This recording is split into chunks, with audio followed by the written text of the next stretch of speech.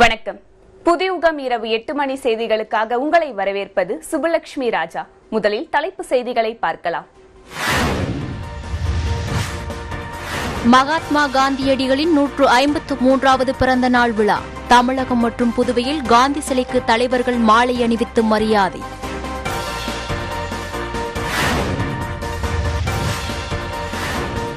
காந்தி ஜெயந்தியை முன்னிட்டு ஊராட்சிகளில் நடைபெற்ற சிறப்பு கிராம சபை கூட்டம்.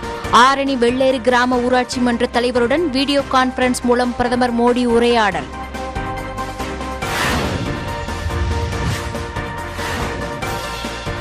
டெல்டா மாவட்டங்கள் உட்பட தமிழகத்தின் பெரும்பாலான மாவட்டங்களில் பரவலாக மழை. அடுத்த மூன்று நாட்களுக்கு மழை தொடரும் என சென்னை வானிலை மையம் தகவல்.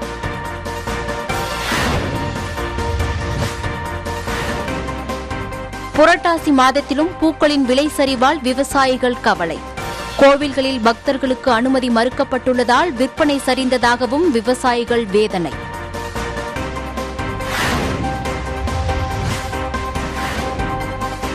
புரட்டாசி சனிக்கிழமையை ஒட்டி தருமபுரி உழவர் சந்தைகளில் காய்கறிகள் விலை உயர்வு. ஐம்பது டன் காய்கறிகள் பதினாறு லட்சம் ரூபாய்க்கு விற்பனையானதாக தகவல்.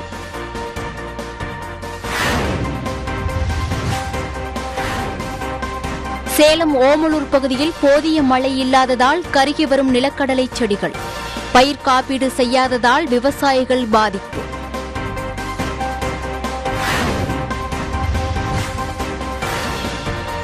பயிர் காப்பீடு செய்ய விவசாயிகளுக்கு வேளாண் துறை அழைப்பு. நெல் பருத்தி மக்காச்சோளத்துக்கு நவம்பர் பதினைந்தாம் தேதி வரை காப்பீடு செய்ய அவகாசம். அடுத்ததாக தேசிய மற்றும் சர்வதேச நிகழ்வுகளை முக்கிய செய்திகளாக பார்க்கலாம்.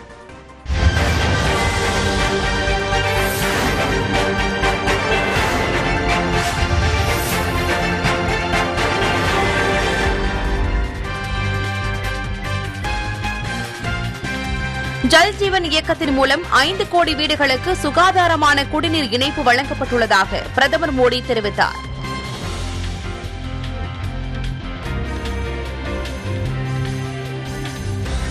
தடுப்பூசி செலுத்துவதில் வெற்றி பெற்றதற்கு காரணம் இந்தியாவின் சுயசார்பு கொள்கை என பிரதமர் மோடி தெரிவித்துள்ளார்.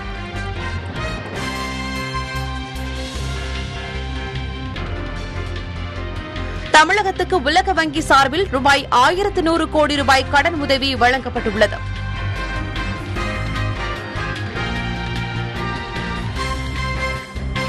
எல்லையில் சீனா படைகளை குவிப்பது கவலை அளிக்கிறது என ராணுவ தளபதி மனோஜ் முகுந்த் நரவனே கூறியுள்ளார்.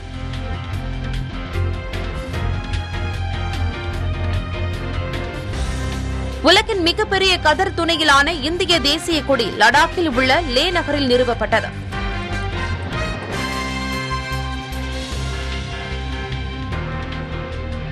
இந்தியாவில் தயாரிக்கப்பட்ட கோவிஷீல்டு தடுப்பூசியை செலுத்திக் கொண்டதாக ஐநா பொது சபையின் தலைவர் அப்துல்லா ஷாஹித் தெரிவித்துள்ளார்.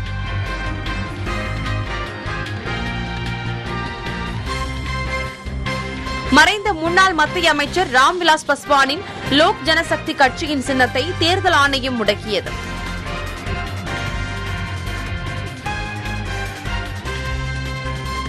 பொருளாதார பாதை திட்டத்தின் மூலம் கடனுக்கு மேல் வழங்கி நாற்பத்தி இரண்டு உலக நாடுகளை சீனா அடிமையாக்கியுள்ளதாக ஆய்வறிக்கையில் கூறப்பட்டுள்ளது.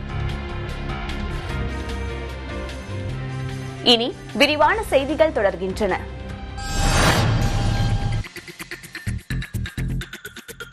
அண்ணல் காந்தியடிகளின் நூற்று ஐம்பத்து மூன்றாவது பிறந்த நாளையொட்டி சென்னை மெரினாவில் உள்ள அவரது சிலைக்கு ஆளுநர் ஆர் என் ரவி முதலமைச்சர் ஸ்டாலின் ஆகியோர் மரியாதை செலுத்தினர். சிலைக்கு கீழ் அலங்கரித்து வைக்கப்பட்டுள்ள காந்தியின் உருவ படத்திற்கு மரியாதை செலுத்தினர். பின்னர் சென்னை சர்வோதய சங்கம் சார்பில் காந்தியின் திருப்புகழ் பாடல்கள் இசைக்கப்பட்டு இரட்டை நூற்பு வேள்வி செய்யும் நிகழ்ச்சி நடைபெற்றது. புதுச்சேரி மாநிலத்தில் மகாத்மா காந்தியடிகளின் நூற்று ஐம்பத்து மூன்றாவது பிறந்தநாள் விழா புதுச்சேரி அரசு சார்பில் கொண்டாடப்பட்டது. இதில் கலந்து கொண்ட ஆளுநர் தமிழிசை முதல்வர் ரங்கசாமி உள்ளிட்டோர் கடற்கரை சாலையில் உள்ள அவரது சிலைக்கு மாலை அணிவித்தும் மலர் தூவியும் மரியாதை செலுத்தினர். விழாவில் மும்மத பிரார்த்தனைகள் மற்றும் தேசபக்தி பாடல்கள் இசைக்கப்பட்டு மகாத்மா காந்திக்கு பெருமை சேர்க்கப்பட்டது.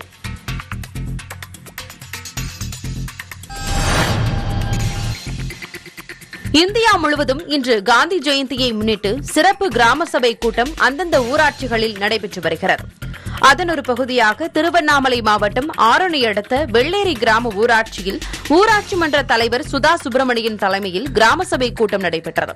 இதில் பிரதமர் மோடி வீடியோ கான்பரன்ஸ் மூலம் கலந்து கொண்டு ஊராட்சி மன்ற தலைவரிடம் உரையாற்றினார். உரையாடலின் போது மக்கள் குறைகளை பிரதமர் கேட்டறிந்தார். அதில் அனைத்து வீடுகளிலும் குழாய் மூலம் குடிநீர் முறையாக கிடைக்கிறதா என பிரதமர் கேள்வி எழுப்பிய நிலையில் தங்கள் கிராமத்தில் உள்ள நானூற்று பனிரண்டு வீடுகளிலும் முறையாக குடிநீர் கிடைக்கிறது என ஊராட்சி தலைவர் பதிலளித்தார். மதுரை பாப்பாப்பட்டியில் நடைபெற்ற கிராம சபை கூட்டத்தில் பங்கேற்ற முதலமைச்சர் ஸ்டாலின் தமிழகத்தை சிறந்த மாநிலமாக உருவாக்க மக்கள் ஒத்துழைப்பு தர வேண்டும் எனவும் இந்தியாவில் சிறந்த மாநிலம் தமிழ்நாடு என சொல்லும் காலம் விரைவில் வரும் என நம்பிக்கை தெரிவித்தார். இதேபோல தேனி மாவட்டம் சின்னமனூர் அருகே உள்ள காமாட்சிபுரத்தில் தேனி மாவட்ட ஆட்சியர் முரளிதரன் தலைமையில் கிராம சபை கூட்டம் நடைபெற்றது. கூட்டத்தில் கிராம மக்களின் முன்னேற்றம் மற்றும் கிராமத்தின் வளர்ச்சி குறித்து அரசு அதிகாரிகளின் ஒத்துழைப்புடன் மக்களோடு ஆட்சியர் கலந்துரையாடினார்.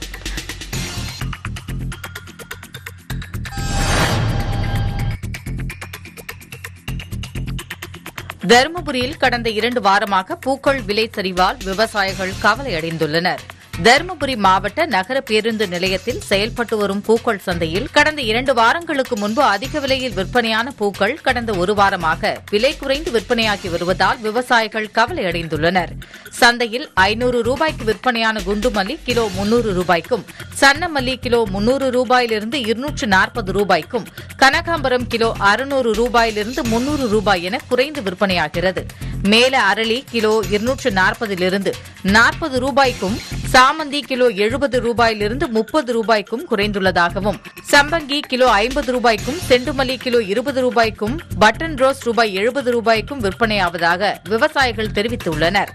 மேலும் புரட்டாசி மாத விரதத்தையொட்டி விலை உயரும் என விவசாயிகள் எதிர்பார்த்த நிலையில் பெரும்பாலான கோவில்களில் பக்தர்கள் தரிசனத்திற்கு அனுமதி மறுக்கப்பட்டுள்ளதால் பூக்களின் விலை சரிந்துள்ளதாக விவசாயிகள் மற்றும் வியாபாரிகள் கவலையடைந்துள்ளனர்.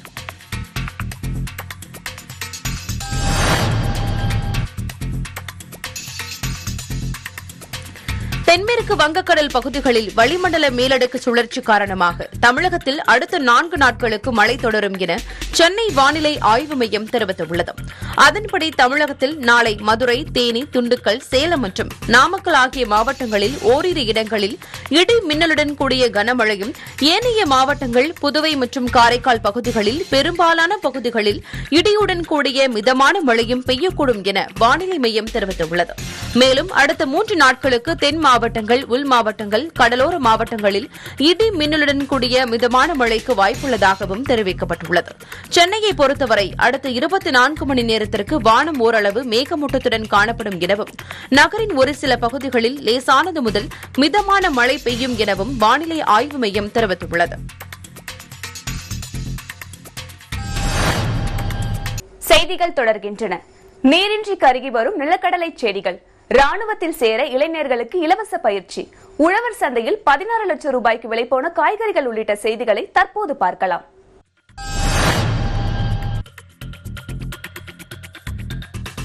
ஓமலூர் காடையம்பட்டி பகுதிகளில் போதிய மழை இல்லாததால் நிலக்கடலை செடிகள் கருகி வருவதாக விவசாயிகள் வேதனை தெரிவித்துள்ளனர். சேலம் மாவட்டம் ஓமலூர் காடையம்பட்டி தாரமங்கலம் வட்டார கிராமங்களில் கடந்த மூன்று மாதங்களுக்கு ஆயிரக்கணக்கான ஏக்கர் பரப்பளவில் நிலக்கடலை சாகுபடி செய்யப்பட்டது. அவ்வப்போது பெய்த மழையால் கடலை செடிகள் நன்றாக வளர்ந்து வந்த நிலையில் செடிகள் பூக்கள் பூக்கும் நேரத்தில் போதுமான மழை பெய்யாததால் இருபதுக்கும் மேற்பட்ட கிராமங்களில் நூற்றுக்கும் மேற்பட்ட ஏக்கரில் நிலக்கடலை செடிகள் கருகி வருவதாக விவசாயிகள் வேதனை அடைந்துள்ளனர். மேலும் நிலக்கடலை சாகுபடி செய்யும் போது பயிர் காப்பீட்டு திட்டமும் அமலுக்கு வராததால் காப்பீடு செய்ய முடியவில்லை என்றும் விவசாயிகள் குற்றம் சாட்டியுள்ளனர். எனவே வேளாண்மைத்துறை அதிகாரிகள் ஆய்வு செய்து உரிய இழப்பீடு கிடைக்க நடவடிக்கைகள் எடுக்க வேண்டும் என்று விவசாயிகள் கோரிக்கை விடுத்துள்ளனர்.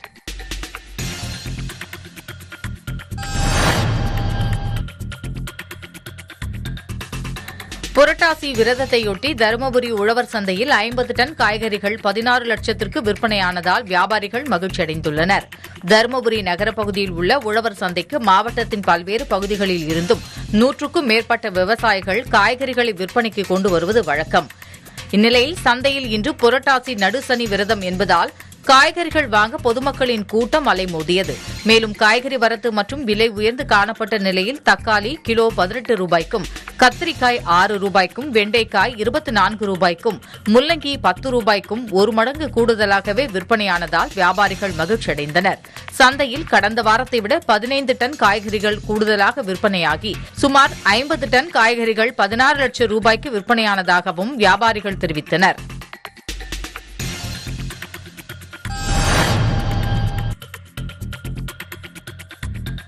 கடலாடி அருகே ராணுவத்தில் சேர இளைஞர்களுக்கு ராணுவ வீரர்கள் இலவச பயிற்சி அளிக்கும் நிலையில் அதில் ஏராளமானோர் பங்கேற்றனர். ராமநாதபுரம் மாவட்டத்தின் அனைத்து பகுதியைச் சேர்ந்த தொள்ளாயிரத்து நாற்பத்து மூன்று ராணுவ வீரர்கள் மற்றும் முன்னாள் ராணுவ வீரர்கள் கடலாடியை தலைமையிடமாக கொண்டு சேது சீமை பட்டாளம் வீரர்கள் என்ற தன்னார்வ அமைப்பை உருவாக்கியுள்ளனர். கொரோனா காலத்தில் மாற்றுத்திறனாளிகள் மனநோயாளிகள் ஏழை எளிய மக்களுக்கு தேவையான அத்தியாவசிய பொருட்கள் உணவுப் பொருட்கள் இலவசமாக வழங்கினர். ரத்த தானம் வழங்குதல் வீடு கட்டி கொடுத்தல் உள்ளிட்ட தன்னார்வ பணிகளையும் செய்து வந்தனர். இந்த நிலையில் இந்திய ராணுவம் துணை ராணுவம் தமிழ்நாடு போலீஸ் பணிகளில் சேர ஆர்வமாக உள்ள இளைஞர்களுக்கு ராணுவ உடற்பயிற்சிகள் பாட வகுப்புகள் மாதிரி தேர்வுகள் போன்றவற்றில் இளைஞர்களுக்கு உதவி வருகின்றனர். இதில் ராமநாதபுரம் மாவட்ட இளைஞர்கள் மட்டுமின்றி நாமக்கல் கரூர் திருச்சி புதுக்கோட்டை சிவகங்கை திருவாரூர் தஞ்சாவூர் உள்ளிட்ட எட்டு மாவட்டங்களைச் சேர்ந்த இளைஞர்கள் பயிற்சி பெற்று வருகின்றனர். வெளியூர் இளைஞர்களுக்கு பயிற்சி வகுப்பு தங்குமிடம் இலவசமாகவும் வழங்கி வருகின்றனர்.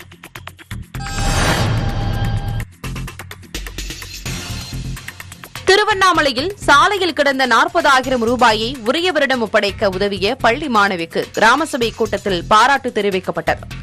வந்தவாசி அடுத்த பிருதூர் கிராமத்தைச் சேர்ந்த ஏழுமலையின் மகள் கோதை சில தினங்களுக்கு முன் தான் விளையாடிவிட்டு வீடு திரும்பிய போது சாலையில் கட்டாக கிடந்த நாற்பதாயிரம் ரூபாயை எடுத்து ஊராட்சி மன்ற தலைவர் ராஜேஸ்வரியிடம் கொடுத்தார்.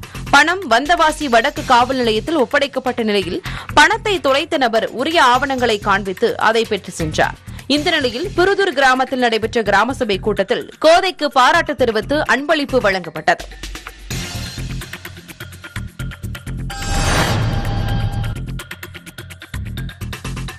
விருதுநகர் மாவட்டம் ஸ்ரீவில்லிபுத்தூர் திருவண்ணாமலை சீனிவாச பெருமாள் கோவிலில் மூன்றாவது சனிக்கிழமையான இன்று சீனிவாச பெருமாளுக்கு அபிஷேக ஆராதனைகள் நடைபெற்றது.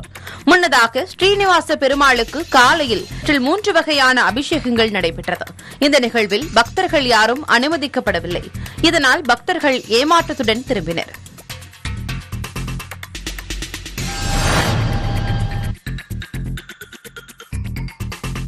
காந்தி ஜெயந்தியை முன்னிட்டு இன்று கடலூர் மாவட்டம் குணமங்கலம் கிராமத்தில் கிராம சபை கூட்டம் மாவட்ட ஆட்சியர் பாலசுப்ரமணியம் தலைமையில் நடைபெற்றது.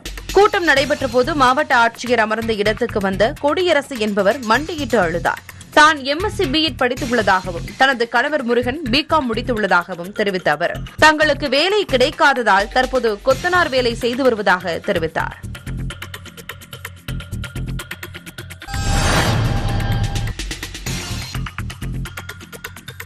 கேரள மாநிலம் திருவனந்தபுரத்தில் வருடம்தோறும் நடைபெறவுள்ள நவராத்திரி விழாவில் பங்கேற்பதற்காக கன்னியாகுமரி மாவட்டத்திலிருந்து சுசீந்திரம் முன்னுத்தி நங்கையம்மன் வேளிமலை முருகன் மற்றும் பத்மநாபபுரன் அரண்மனையில் உள்ள தேவாரக்கட்டு சரஸ்வதி அம்மன் சாமி சிலைகள் திருவிதாங்கூர் மன்னரின் உடைவாளுடன் ஊர்வலமாக புறப்பட்டு திருவனந்தபுரம் செல்வது வழக்கம். பின்னர் விழா முடிந்ததும் மீண்டும் சாமி சிலைகள் குமரி மாவட்டத்திற்கு கொண்டு வரப்படும். ஆனால் இந்த ஆண்டு கொரோனா காரணமாக பிரம்மாண்டமான ஊர்வலம் இல்லாமல் காவல்துறை உதவியுடன் புறப்பட்டு சென்றது.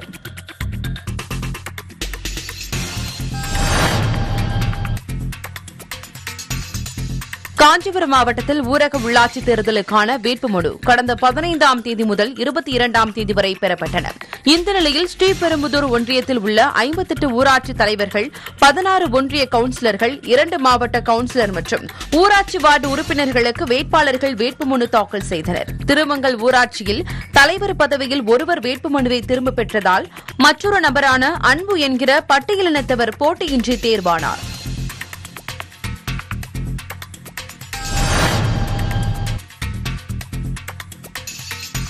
நீலகிரி மாவட்டத்தில் அறுபத்தைந்தாயிரத்திற்கும் மேற்பட்ட சிறு குறு விவசாயிகள் சாகுபடி செய்யும் தேயிலைகளுக்கு அக்டோபர் மாத குறைந்தபட்ச விலையாக பச்சை தேயிலை கிலோ ஒன்றுக்கு பதினான்கு ரூபாய் எழுபத்தி நான்கு காசுகளாக தென்னிந்திய தேயிலை வாரியம் அறிவித்துள்ளது. இது செப்டம்பர் மாதம் தேயிலை ஏல விற்பனையின் சராசரி விலையை அடிப்படையாக கொண்டு நிர்ணயிக்கப்படுகிறது. தொடர்ந்து பச்சை தேயிலைக்கு விலை குறைந்து வருவது விவசாயிகள் மத்தியில் கவலையை ஏற்படுத்தியுள்ளது.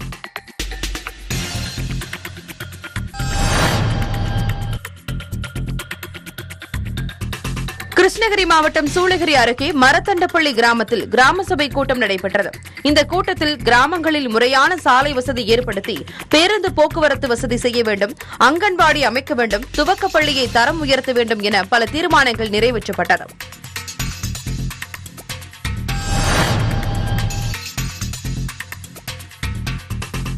தமிழக முன்னாள் முதலமைச்சர் காமராஜரின் நாற்பத்தி ஆறாவது நினைவு தினம் புதுச்சேரி அரசு செய்தி மற்றும் விளம்பரத்துறை சார்பில் அனுசரிக்கப்பட்டது. இதில் துணைநிலை ஆளுநர் தமிழிசை சவுந்தரராஜன் முதலமைச்சர் ரங்கசாமி சட்டப்பேரவைத் தலைவர் செல்வம் மற்றும் அமைச்சர்கள் அவரது சிலைக்கு மலர் தூவி மாலை அணிவித்து மரியாதை செலுத்தினர். செய்திகள் தொடர்கின்றன. கல்பாக்கத்தில் உடற்பயிற்சியை ஊக்குவிக்கும் நடைப்பயிற்சி சுற்றுலா பயணிகளுக்காக இயக்கப்பட்ட சிறப்பு ரயில் பயிர் காப்பீடு செய்ய நவம்பர் பதினைந்தாம் தேதி கடைசி நாள் உள்ளிட்ட செய்திகளை தற்போது பார்க்கலாம்.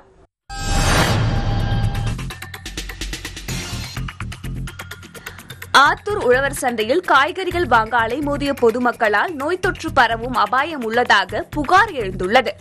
புரட்டாசி மாதத்தையொட்டி பொதுமக்கள் பெரும்பாலானோர் அசைவ உணவை தவிர்த்து சைவ உணவை விரும்பி வருகின்றனர். இந்நிலையில் வீடுகளில் படைகளிடுவதற்காக சேலம் மாவட்டம் ஆத்தூர் உழவர் சந்தையில் பொதுமக்கள் ஏராளமானோர் காய்கறிகளை வாங்க குவிந்தனர். அதில் பெரும்பாலான பொதுமக்கள் முகக்கவசம் இல்லாமலும் சமூக இடைவெளியை பின்பற்றாமலும் ஒரே இடத்தில் கூடியதால் நோய் தொற்று பரவும் அபாயம் ஏற்பட்டுள்ளதாக சமூக ஆர்வலர்கள் கவலை தெரிவித்துள்ளனர். மேலும் இதனை தடுக்க மாவட்ட நிர்வாகம் நடவடிக்கை எடுக்க வேண்டும் எனவும் அவர்கள் கோரிக்கை விடுத்துள்ளனர்.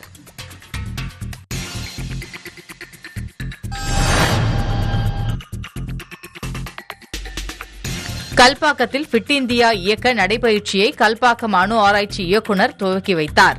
மக்கள் மத்தியில் உடற்பயிற்சி செய்யும் பழக்கத்தை ஊக்குவிக்கும் வகையில் ஃபிட் இந்தியா இயக்கத்தை செங்கல்பட்டு மாவட்டம் கல்பாக்கம் ஊழியர்கள் குடியிருப்பு பகுதியில் இந்திரா காந்தி அணு ஆராய்ச்சி மைய இயக்குநர் வெங்கட்ராமன் தொடங்கி வைத்தார். இந்த நிகழ்ச்சியில் உடற்பயிற்சி செய்வோம் என்ற உறுதிமொழியை மக்கள் ஏற்றுக்கொண்டனர். உடற்பயிற்சி என்பது விளையாட்டு வீரர்களுக்கு மட்டுமல்ல அனைவருக்குமானது என்பது நிகழ்ச்சியில் வலியுறுத்தப்பட்டது. ஆண்கள் பெண்கள் சிறுவர்கள் என இந்த நிகழ்ச்சியில் பலர் கலந்து கொண்டனர்.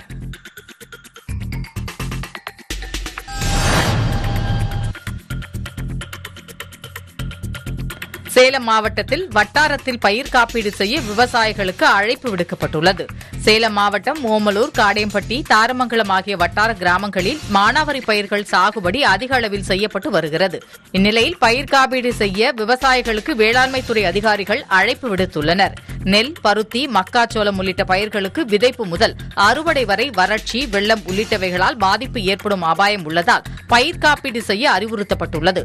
மக்காச்சோளம் ஏக்கருக்கு நானூற்று பதினாறு ரூபாயும் நெல் ஏக்கருக்கு ஐநூற்று பத்தொன்பது ரூபாயும் பருத்திக்கு அறுநூற்று நாற்பத்தி இரண்டு ரூபாயும் காப்பீட்டு பிரீமியம் தொகையாக நிர்ணயிக்கப்பட்டுள்ளது.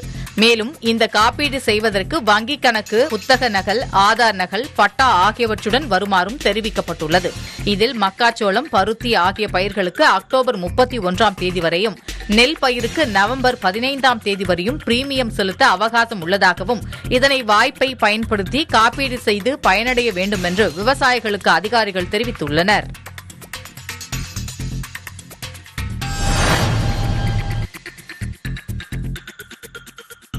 காந்தி ஜெயந்தியை முன்னிட்டு ஊட்டிக்கு இயக்கப்பட்ட சிறப்பு மலை ரயிலால் சுற்றுலா பயணிகள் உற்சாகமடைந்துள்ளனர் கோவை மாவட்டம் மேட்டுப்பாளையம் ரயில் நிலையத்திலிருந்து உதகை வரை நூற்றாண்டு பழமை வாய்ந்த நீலகிரி மலை ரயில் தினசரி இயக்கப்பட்டு வருகிறது. உலக பாரம்பரிய சின்னமாக அறிவிக்கப்பட்டுள்ள இந்த மலை ரயிலில் பயணித்தபடி நீலகிரி மலையின் இயற்கை எழிலை கண்டு ரசிக்க உள்நாடு மட்டுமின்றி உலகின் பல்வேறு நாடுகளில் இருந்தும் சுற்றுலா பயணிகள் வருகை தருவது வழக்கம். சுற்றுலா பயணிகளின் பெரும் வரவேற்பை பெற்றுள்ள மலை ரயில் ஒரு நாளைக்கு இருமுறை மட்டுமே இயக்கப்படும் நிலையில் இன்று காந்தி ஜெயந்தியை முன்னிட்டு கூடுதல் சேவையாக இயக்கப்பட்டது. இதனால் சுற்றுலா பயணிகள் மகிழ்ச்சியடைந்துள்ளனர்.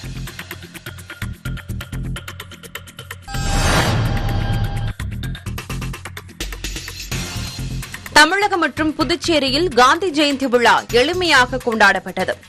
ராமநாதபுரத்தில் மகாத்மா காந்தி பிறந்த நாளை முன்னிட்டு மாவட்டத்தின் பொறுப்பு ஆட்சியர் காமாட்சி கணேசன் நகராட்சி அலுவலக வளாகத்தில் உள்ள காந்தி சிலைக்கு மாலை அணிவித்து மரியாதை செலுத்தினார்.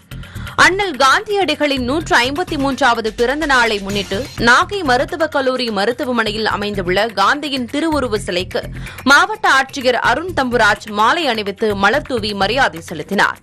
மதுரையில் காந்தி அருங்காட்சியக வாயிலில் உள்ள காந்தி சிலைக்கு பள்ளி மாணவர்கள் மாலை அணிவித்து மலர் தூவி மரியாதை செலுத்தினர். மேலும் பறை இசை அடித்தபடி காவடியாட்டம் மற்றும் கரகாட்டம் ஆடியபடி மாணவர்கள் பேரணி சென்றனர்.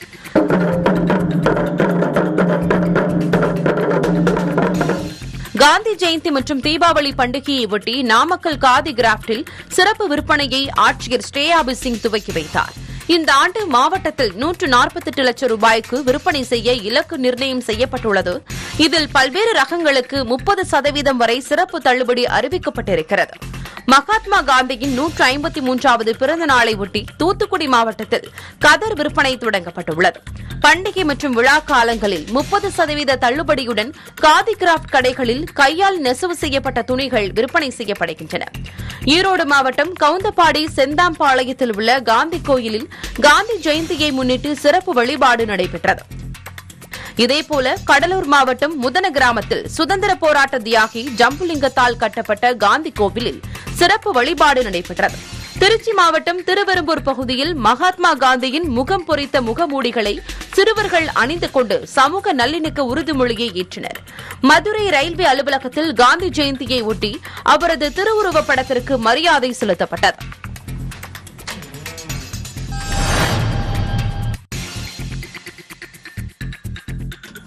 தென்மேற்கு பருவமழை கர்நாடகா கேரள மாநிலங்களில் தொடர்ந்து காவிரி நீர்பிடிப்பு பகுதிகளில் மழை பெய்து வருகிறது.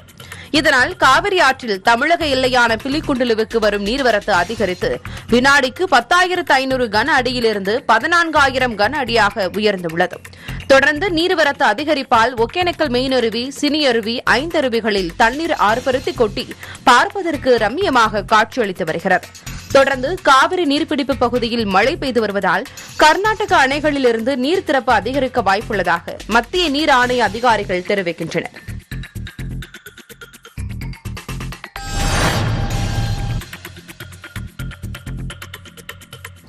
சேலம் மாவட்டம் மேட்டூர் அணையிலிருந்து செல்லும் கால்வாய் காவிரி கிராஸ் என்ற இடத்தில் கிழக்கு மேற்காக பிரிந்து சேலம் ஈரோடு நாமக்கல் ஆகிய மூன்று மாவட்டங்களில் சுமார் நாற்பத்தைந்தாயிரம் ஏக்கர் நிலங்கள் பாசன வசதி பெற்று வருகிறது. ஒவ்வொரு ஆண்டும் மேட்டூர் அணையிலிருந்து கடந்த ஆகஸ்ட் ஒன்றாம் தேதி முதல் டிசம்பர் பதினைந்தாம் தேதி வரையிலான நூற்று முப்பத்தி ஏழு நாட்களுக்கு சுமார் ஒன்பது டிஎம்சி அளவிற்கு தண்ணீர் திறக்கப்படும். இந்த ஆண்டு அணையில் போதிய நீர் இருப்பு இருந்ததால் குறித்த காலமான ஆகஸ்ட் ஒன்றாம் தேதி மேட்டூர் அணையிலிருந்து கால்வாய் பாசனத்திற்காக தண்ணீர் திறக்கப்பட்டது.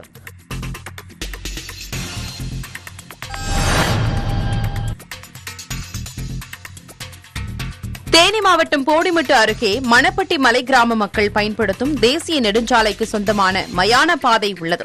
இந்த பாதையினை கடந்த பதினைந்து வருடங்களாக தனிநபர் ஒருவர் ஆக்கிரமித்துக் கொண்டு பிரச்சினைகளில் ஈடுபட்டு வந்துள்ளதாக கூறப்படுகிறது.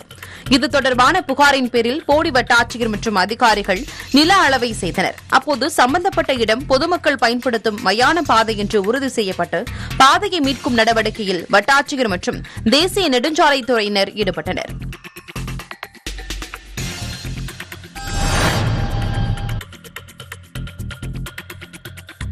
உத்தரமேரூர் வங்கியில் போலி நகைக்கு கடன் வழங்கி மோசடியில் ஈடுபட்டதாக சங்க பணியாளர்கள் நகை மதிப்பீட்டாளர் ஆகியோர் மீது வணிக குற்ற புலனாய்வு பிரிவில் புகார் அளிக்கப்பட்டுள்ளது.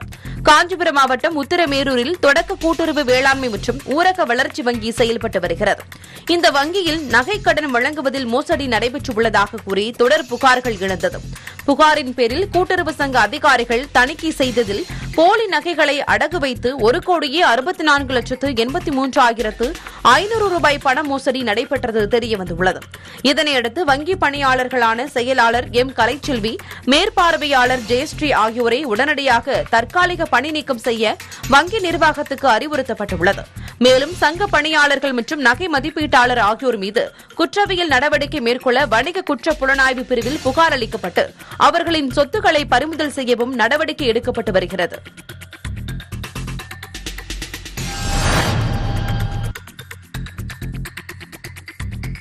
மயிலாடுதுறை மாவட்டத்தில் ஓஎன்ஜிசி சமூக பொறுப்புணர்வு திட்டத்தின் மூலம் ஆறு லட்சம் மதிப்பீட்டில் சுத்திகரிக்கப்பட்ட குடிநீர் இயந்திரம் மயிலாடுதுறை அரசு மருத்துவமனை மற்றும் வானாதி ராஜபுரம் ஆனந்த தாண்டவபுரத்தில் உள்ள அரசு பள்ளிகளில் அமைக்கப்பட்டுள்ளது. மயிலாடுதுறை அரசு மருத்துவமனையில் அமைக்கப்பட்ட சுத்திகரிக்கப்பட்ட குடிநீர் இயந்திரம் தொடக்க விழா நிகழ்ச்சியில் மயிலாடுதுறை சட்டமன்ற உறுப்பினர் ராஜகுமார் கலந்து கொண்டு தொடங்கி வைத்தார்.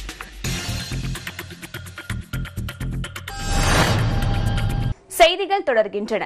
காந்தி ஜெயந்தியை முன்னிட்டு மரக்கன்று நடும் விழா. வட்டாட்சியர் அலுவலகத்தில் ஏற்பட்ட தீ விபத்து. மன்னார் வளைகுடாவில் பலத்த காற்று வீசுவதால் மீன்பிடிக்க தடை உள்ளிட்ட செய்திகளை விரைவு செய்திகளாக தற்போது பார்க்கலாம்.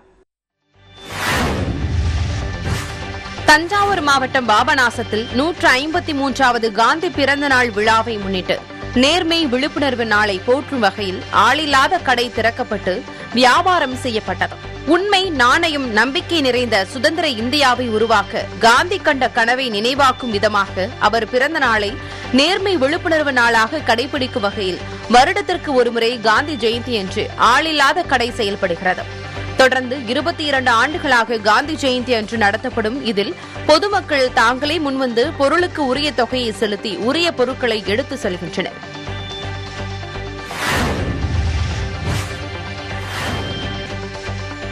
பாம்பன் அன்னை இந்திரா காந்தி சாலை பாலம் இன்று தனது சேவையை முப்பத்து நான்காவது ஆண்டில் அடியெடுத்து வைக்கிறது. கடந்த ஆயிரத்து தொள்ளாயிரத்து எழுபத்து நான்காம் ஆண்டு நவம்பர் மாதம் பதினேழாம் தேதி அன்றைய பிரதமர் இந்திரா காந்தியால் ராமேஸ்வரம் அருகே பாம்பன் கடலில் பாலம் அமைக்க அடிக்கல் நாட்டப்பட்டு பணிகள் துவங்கியது. பல்வேறு காரணங்களால் தடைப்பட்ட இந்த பாலம் ஆயிரத்து தொள்ளாயிரத்து எண்பத்தி எட்டாம் ஆண்டு அக்டோபர் இரண்டாம் தேதி அன்றைய பிரதமர் ராஜீவ் காந்தியால் திறந்து வைக்கப்பட்டு போக்குவரத்து துவங்கியது. இதற்கு அன்னை இந்திரா காந்தி சாலை பாலம் என பெயரிடப்பட்டது. ரயிலை மட்டும் நம்பி ராமேஸ்வரம் வந்த சுற்றுலா பயணிகள் எப்போது வேண்டுமானாலும் ராமேஸ்வரம் சென்று திரும்பலாம் என்ற நிலை உருவானது. இதனால் பக்தர்கள் மற்றும் சுற்றுலா பயணிகள் எண்ணிக்கை ஆண்டுதோறும் அதிகரித்து வருகிறது. மேலும் இந்த பகுதி மீனவர்கள் கடலில் பிடிக்கப்படும் மீன்களை உடனுக்குடன் வாகனங்களில் ஏற்றி வெளியூர்களுக்கு எடுத்துச் செல்லும் வாய்ப்பு உருவானதால் மீன்பிடி தொழிலும் ஏற்றம் பெற்றது. பாலம் கட்டி முடிக்கப்பட்ட நாள் முதல் இன்று வரை தொடர் சேவையில் தனது முப்பத்து நான்காம் ஆண்டில் அடியெடுத்து வைக்கிறது. கடலூர் மாவட்டம் திட்டக்குடியில் 75வது ஐந்தாவது சுதந்திர தின கொண்டாட்டத்தை முன்னிட்டும் காந்தி ஜெயந்தியை முன்னிட்டும் திட்டக்குடி வட்டாட்சியர் அலுவலகத்தில் மரக்கன்றுகள் நடும் சிறப்பு விழா நடைபெற்றது.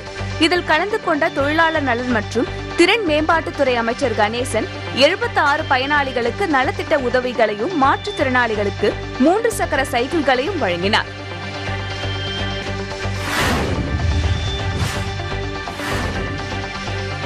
திருவள்ளூர் மாவட்டம் கும்மிடிப்பூண்டி வட்டாட்சியர் அலுவலகத்தில் நள்ளிரவில் திடீர் தீ விபத்து ஏற்பட்டது. தகவலின் பேரில் விரைந்து வந்த கும்மிடிப்பூண்டி சிப்காட் தீயணைப்பு துறையினர் தீயை அணைத்தனர். விபத்தில் ஆறு கணினிகள் சட்டம் ஒழுங்கு கோப்பைகள் ஆகியவை எரிந்து சேதமாயின. இது குறித்து கும்மிடிப்பூண்டி சிப்காட் காவல்துறையினர் விசாரணை மேற்கொண்டு வருகின்றனர்.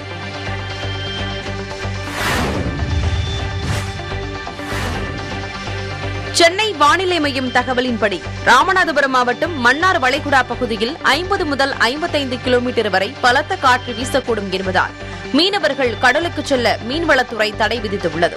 இதனால் சுமார் எண்ணூறு விசைப்படகுகள் கரையில் பாதுகாப்பாக நிறுத்தி வைக்கப்பட்டுள்ளது.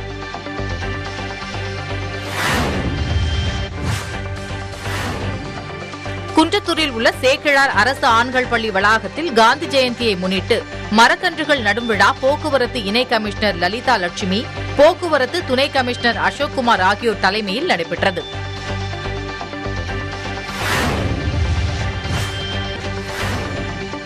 வேலூர் மாவட்டத்தில் உள்ளாட்சி தேர்தலையொட்டி ஏழு நாட்கள் அரசு மதுக்கடைகள் அனைத்து வகை பார்கள் ஆகியவை இயங்க தடை விதித்து வேலூர் மாவட்ட ஆட்சியர் குமாரவேல் பாண்டியன் உத்தரவிட்டுள்ளார்.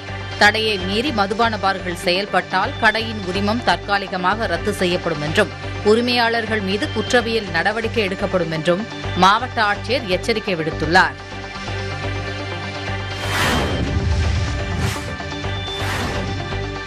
காந்தி ஜெயந்தி தினத்தன்று மதுக்கடைகள் மூடப்படுவதால் நேற்றே மதுபானங்கள் வாங்க மதுக்கடையை நோக்கி குடிமகன்கள் முந்தியடித்து சென்று மது பாட்டில்களை வாங்கிய நிகழ்வு காண்போருக்கு வேதனையை ஏற்படுத்தியது. திருப்பத்தூர் மாவட்டம் கோணாப்பட்டு ஏட்டி காலனி பகுதியில் வசிப்பவர் வசந்தா. இவரது வீட்டில் இரவு புகுந்த திருடர்கள் பீரோவில் வைக்கப்பட்டிருந்த ஐந்து சவரன் தங்க நகை மற்றும் மூவாயிரம் பணம் அரைக்குழு வெள்ளி ஆகியவற்றை திருடி சென்றுள்ளனர்.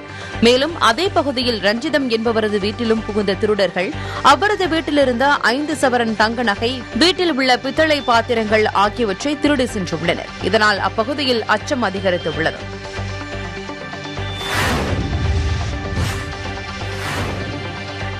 சேலம் மாவட்டம் ஆத்தூரில் வசிஷ்ட சிலம்பு அகாடமி மற்றும் ரோட்டரி இணைந்து fit India freedom two point zero எழுபத்தைந்தாவது சுதந்திர தின விழாவையொட்டி வலிமையான இந்தியாவிற்கான சுதந்திர ஓட்டம் என்ற பெயரில் மினி மாரத்தான் நிகழ்ச்சி நடைபெற்றது. சுமார் மூன்று கிலோமீட்டர் தூரம் நடைபெற்ற மினி மாரத்தான் ஓட்டத்தில் ஐநூறுக்கும் மேற்பட்ட சிறுவர் சிறுமியர்கள் கலந்து கொண்டனர். நிகழ்ச்சியில் கலந்து கொண்ட அனைவருக்கும் சான்றிதழ்கள் வழங்கப்பட்டன.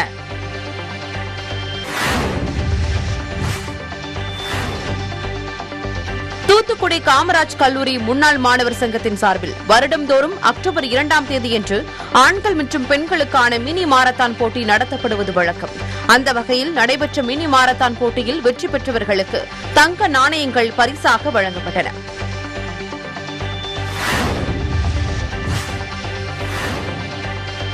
கன்னியாகுமரியில் காந்தி நினைவு மண்டபத்தில் சிதா பஸ்மம் வைக்கப்பட்டிருந்த பகுதியில் அமைக்கப்பட்ட ஸ்தூபியில் ஆண்டுதோறும் காந்தி ஜெயந்தி என்று பிற்பகல் பனிரண்டு மணிக்கு சூரிய ஒளி பதிப்பது வழக்கம். இந்த நிலையில் இன்று காந்தியின் உருவப்படத்திற்கு மரியாதை செலுத்த வந்த மாவட்ட ஆட்சியர் உட்பட அதிகாரிகள் காத்திருந்தனர். இதனையடுத்து அப்பகுதியில் மழை மேகம் திரண்ட நிலையில் சூரிய ஒளி பதியாததால் வந்திருந்தவர்கள் ஏமாற்றமடைந்தனர்.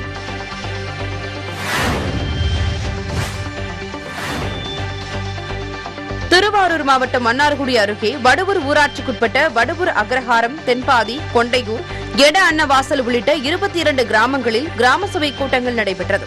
வடுவூர் அக்ரஹாரம் பகுதியில் நடைபெற்ற கிராம சபை கூட்டத்தில் வடுவூர் ஊராட்சியை மையமாக கொண்டு புதிய வருவாய் வட்டம் உருவாக்க வேண்டும் என ஒருமனதாக தீர்மானம் நிறைவேற்றப்பட்டது. இத்துடன் செய்திகள் நிறைவடைகின்றன. புதியுகத்தின் அடுத்த செய்தி தொகுப்பு நாளை காலை எட்டு மணிக்கு. நன்றி.